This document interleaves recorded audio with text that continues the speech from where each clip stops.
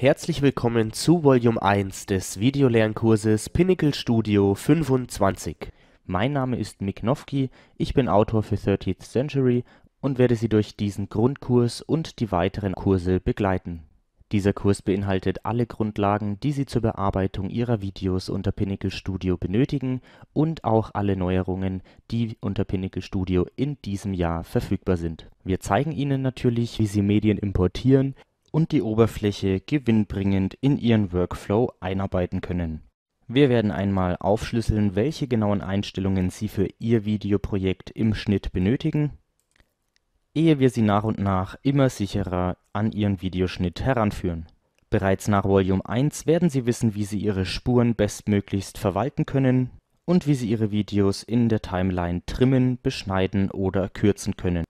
Wir schauen uns den Umgang mit Hochkantmaterial an welche weiteren Änderungen es in diesem Jahr gibt, insbesondere bei der Titelerstellung, zu der wir hier im Grundkurs Volume 1 auch schon kommen werden. Was hier zum Vorjahr anders ist und warum es sich definitiv anbietet, mit dieser Titelerstellung zu arbeiten wir werden kreativ, indem wir ganz genau hingeschaut haben und uns eine Tagesschaublende abgeguckt haben. Diese werden wir in diesem Volume 1 einmal umsetzen und framegenau animieren. Wir gehen bereits in diesem ersten Volume von insgesamt fünf Volumes auf die neuen Blendemodi unter Pinnacle Studio ein und wir werden zahlreiche dieser neuen Blendemodi auf einige Beispiele anwenden, um Ihnen aufzuführen, welche super tollen Neuheiten Sie in Bezug auf die Blendemöglichkeiten unter Pinnacle Studio vorfinden, wie wir unser Ausgangsmaterial abändern und einen Blendemodi auf das darunterliegende Material anwenden.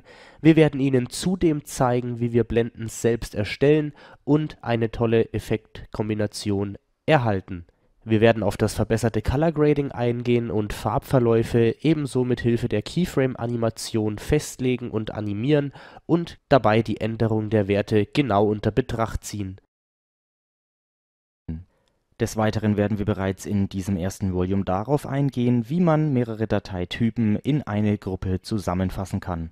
Wir werden Ihnen dann, wenn wir soweit sind, auch die Neuheiten der Maskenfunktionen erklären, die wir dann allerdings in den weiteren Volumes die auch bald erscheinen werden, umso genauer erklären, analysieren und auf Neuheiten prüfen werden. Wir möchten Ihnen natürlich auch in diesem Volume wieder das Einsetzen von Keyframes erklären und Ihnen zeigen, wie Sie Ihre Videos individuell animieren können.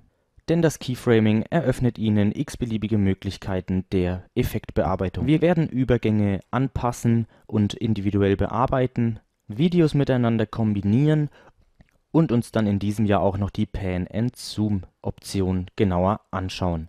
Hier können wir Videos, die etwas weiter entfernt sind, ganz einfach mit einem Schwenk heranzoomen oder auch mit Keyframe-Animation wieder herauszoomen. Die Möglichkeiten sind wieder sehr vielschichtig, was das Programm in diesem Jahr aber nicht komplexer macht. Doch wir nehmen Sie natürlich gerne wieder an der Hand und führen Sie durch Pinnacle Studio hindurch wir schauen uns die Splitscreen-Erstellung an, anhand der bereits vorhandenen Vorlagen oder aber durch die individuelle Erstellung eines Splitscreens. Wir werden uns einem Mysterium des Videoschnitts widmen, wie wir Personen einfach verschwinden lassen können und dann aus dem Nichts wieder auftauchen lassen können und wie wir ein Video mit sich selbst kombinieren, um diesen Effekt zu erzeugen. Ein besonderes Highlight stellt auch wieder der nahtlose Übergang dar, bei dem wir einen bestimmten Teil unseres ersten Bildes anwählen und dann dort herauszoomen lassen können, auch Fadeout genannt, und wir können dann auch noch in unserem zweiten Video den Ausschnitt festlegen, bei dem wir das Ganze wieder einfaden lassen möchten. Freuen Sie sich also nun mit Recht auf die kommenden Lektionen und auch auf die weiteren Volumes, die zeitnah erscheinen werden und in denen wir uns mit weiteren Neuheiten von Pinnacle Studio beschäftigen werden. Ich freue mich darauf, dass wir uns auch beim nächsten Volume wieder hören werden